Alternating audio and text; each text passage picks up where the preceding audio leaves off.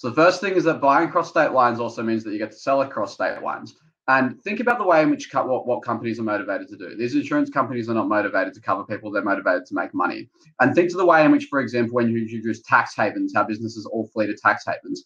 Uh, the reason they do that is because businesses follow the path of least resistance. So, what my opponent wants you to think when he says more choice is that the insurance market will remain the same way it is now, where there'll just be great plans in all different areas. But actually, what's going to happen is that businesses, now that they can sell to the entire country from a particularly friendly um, state, will just relocate all of their business to that state. So, for what what are they going to relocate relocate based on? They'll relocate to states with the lowest minimum co- coverage standards. They'll relocate to states with the lowest consumer protection laws. They'll relocate to states with the friendliest courts. Maybe they're stacked out with Republicans who are appointed by Trump, or maybe they've just got the best precedent law when and have it uh, have it like a rec- record of when there are consumer versus insurance conflicts of ruling in favor of the insurance company. That means that more choice doesn't exist in this debate because it assumes the insurance offering market, the selling market, will, will remain static. Where obviously now that insurance companies can sell across state lines, it won't be, which means that consumers actually get less choice and they get worse um,